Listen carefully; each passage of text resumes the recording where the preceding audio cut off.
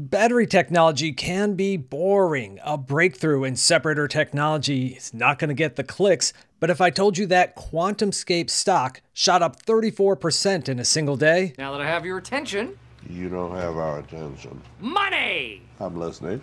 Clearly, Wall Street took notice of this nerdy announcement. In this video, I'm going to provide a basic overview of their solid state battery technology before getting into the details of Cobra, their latest ceramic separator process that puts them one step closer to battery domination.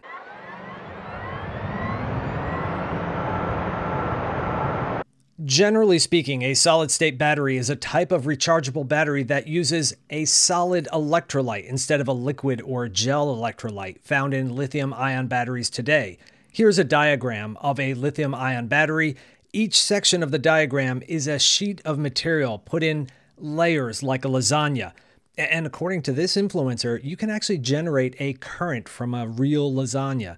Let's go right to left. The positive current collector is a thin sheet of aluminum with a cathode active material applied to it. This is where batteries generally get their names from. So if the cathode is lithium iron phosphate, LFP, or nickel manganese cobalt, NMC, or NMCA with aluminum, on the negative side is a thin sheet of copper coated with graphite. That's the anode. Separating the two is a separator with a liquid electrolyte that allows lithium ions to pass through the separator depending on if it's charging or discharging to provide energy.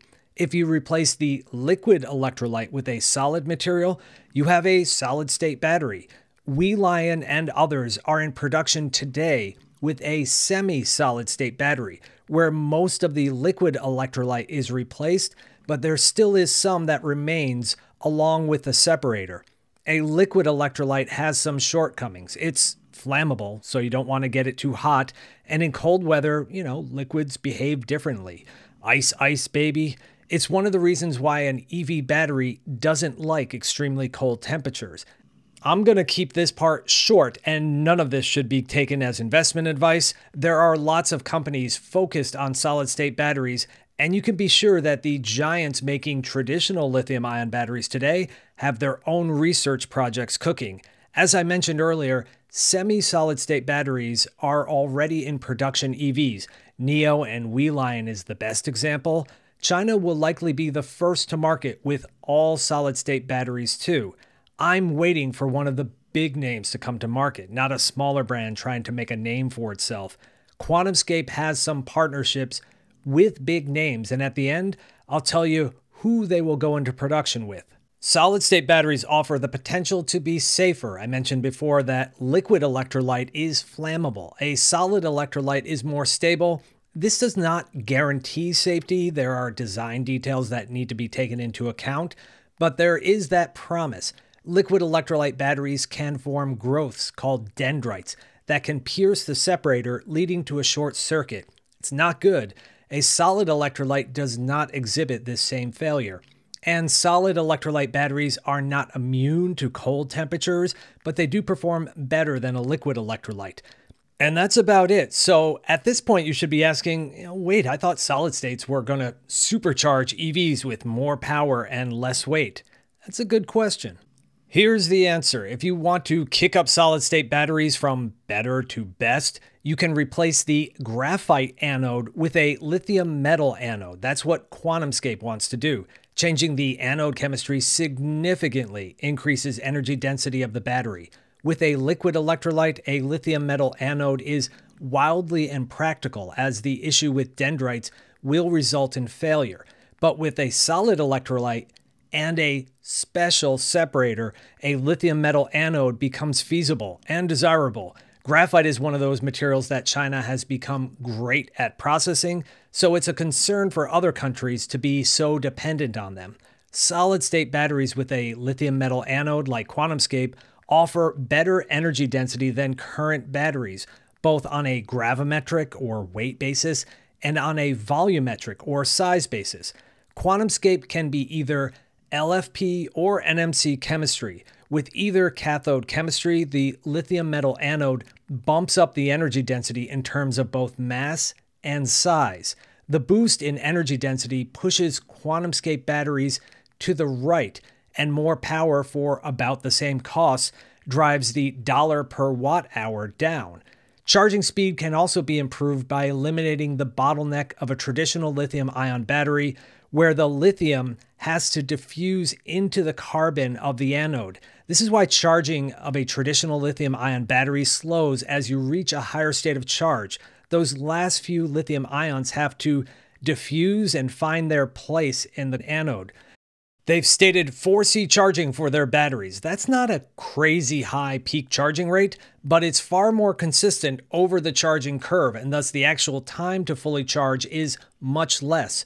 QuantumScape's use of lithium metal anode is referred to as being anode free. This term is, I think it's misleading, as there is an anode side of the battery, but it's manufactured with lithium metal in a discharged state, and it gets formed the first time the battery is charged at the factory, where lithium ions pass through that separator to the anode for the first time.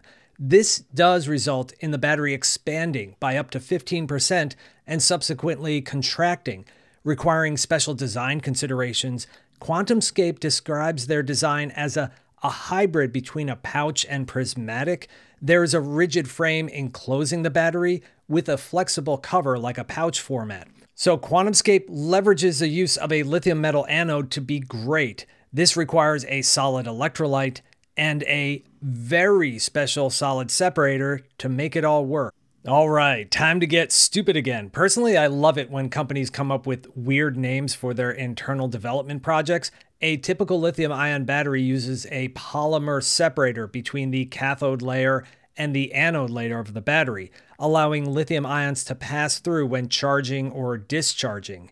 QuantumScape uses a ceramic separator that is extremely heat resistant. When I think of ceramic, I think of something that is brittle, but ceramic films can be flexible, as is the case here, and extremely thin, only 20 to 40 microns thick, allowing for lithium ions to flow through. Cobra is technically the process for making the ceramic separator. The previous process, called Raptor, Cobra offers a 25x improvement in the time it takes for heat treatment. Not 25%, 25 times faster, more energy efficient, requiring less floor space in the production facility. This ceramic film, like other ceramics, spends time being baked into their final form. QuantumScape's old Raptor process took a significant leap forward to reducing that time, and now Cobra blows that away. All of these improvements have a financial cost benefit to them, and the Cobra process is less expensive. And this is why QuantumScape stock took off with the announcement. It makes it all seem so much more real, able to scale up in normal sized plants and at affordable costs. And speaking of mass production, last year QuantumScape announced an agreement to license its battery design to PowerCo, who I keep having to remind myself is basically Volkswagen Group.